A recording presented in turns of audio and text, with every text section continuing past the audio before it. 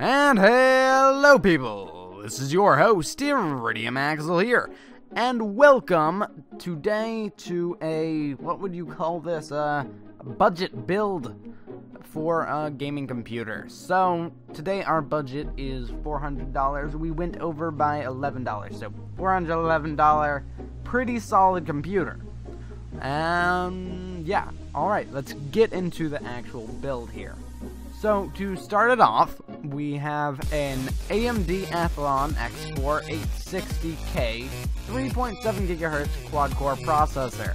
Now, no doubt this is the best budget uh, CPU that you can get.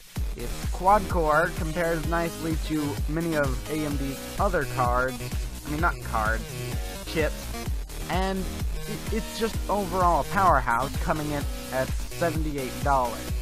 Now you may be able to get something better on the Intel side. I threw together this build uh, in a little while, trying to get it as low of a price as possible while still maintaining good hardware. So keep that in mind.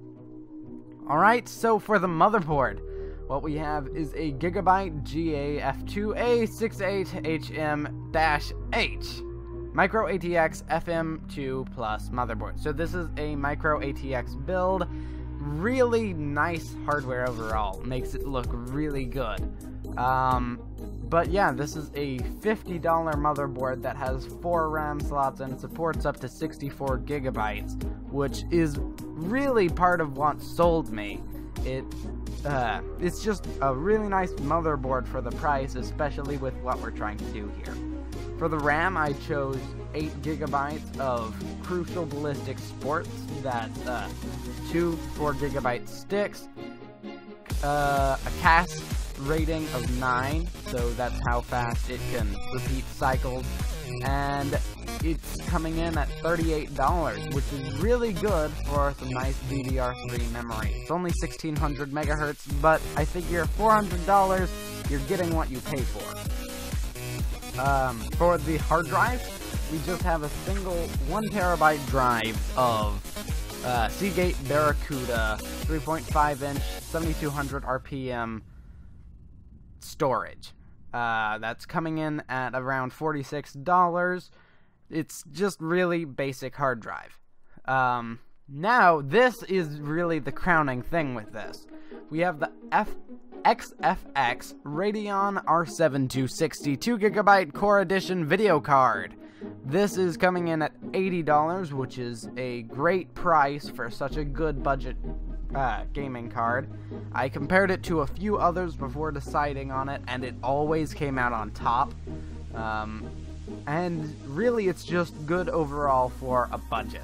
It's actually more expensive than the processor, but I don't know if uh, I don't know if that should be evened out, really. I, I'm going to stick with what I have, for now at least. And for the case, we have the Thermaltake Core V21 Micro ATX Mini Tower Case. This guy is magnificent. It's only $40, sold from Newegg, and I love how it's built. It just, it looks magnificent. Um, one issue that we have with it is it has onboard USB 3.0 slots, but no headers on the motherboard. So if that's not a problem for you, definitely go with this. But the case is one of the most optional things about this. So you could choose something else if you wanted. I just thought it looked really nice. Back to the build. Um, for the power supply, we have a $65 EVGA Supernova NEX 650 watt 80 plus gold certified fully modular ATX power supply. Um, this guy is going to be able to run anything we need because the base, uh, the base wattage that's recommended for this machine, like how much it'll take, is 284. So having 650 really leaves room for upgradability.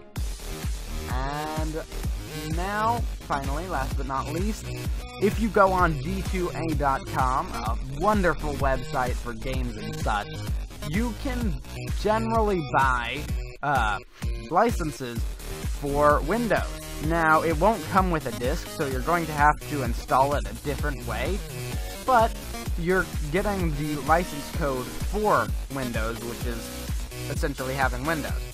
So, as long as you have a disk, you have the full Windows software that you can use for $25. And that is just a magnificent price, in my opinion, for a whole Windows operating system. Otherwise, this would be costing us about $85. And that's just insane to match into a $400 budget build. So, anyway, I really hope you enjoyed this video. Thanks a ton for watching, and I guess I will see you guys next time. Bye-bye.